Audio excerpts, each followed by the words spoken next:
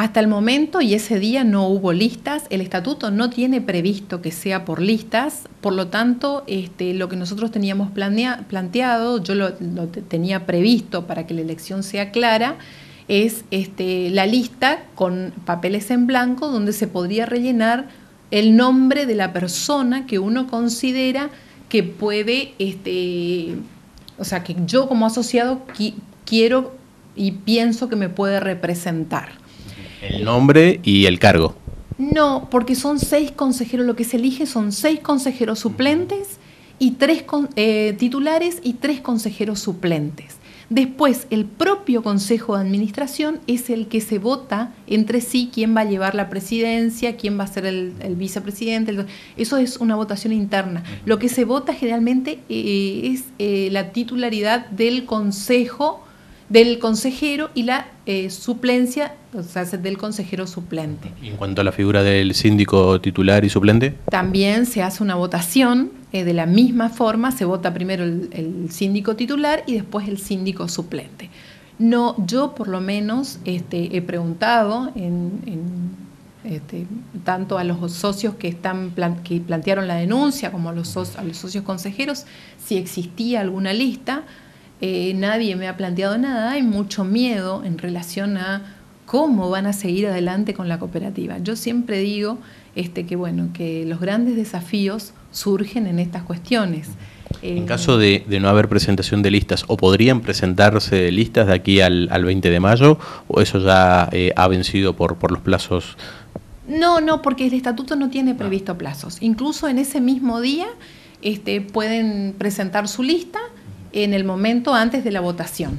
y si no hay si no hay presentación de lista, va a ser de la manera que usted acaba de describir. Claro, como no había presentación de listas, yo este, armé un bosquejo para que sea más fácil la votación en caso de que no fuera, porque en la, primera reunión este, que hemos mantenido, eh, la gran queja fue que siempre fue por munción y a mano alzada y que todos levantaban la mano este, bueno, eso es una cuestión de conciencia de los socios. Los socios deben saber que no es levantar la mano, que realmente deben levantar la mano cuando están convencidos que la persona emocionada los va a representar y que los quieren votar. Y para que no exista esa idea de presión, este, hay figuras que por ahí vamos a reconocer. Está el síndico, que es el intendente de la ciudad, puede ejercer algún tipo de presión política, no debería, pero eh, hay? Eh, no, no, yo no, no, no, he visto ningún tipo de presión política, por lo menos con lo que a mí respecta. Eh, por más que, que, que por ahí haya, hayan abierto o haya quedado alguna otra lectura, yo soy una persona apolítica y no voy a dejar presionarme por ningún político.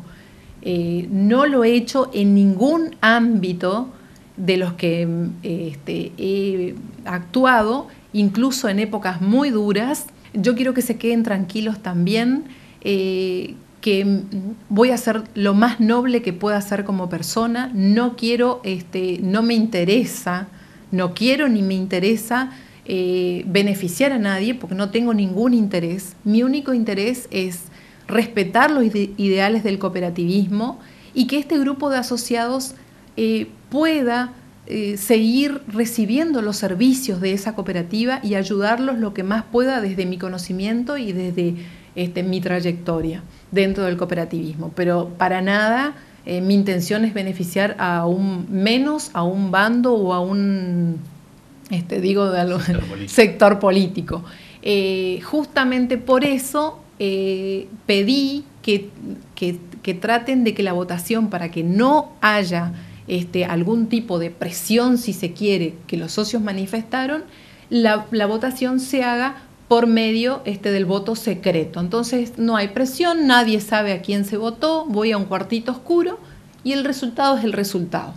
Y todos eh, con tranquilidad nos sometemos al resultado de las urnas.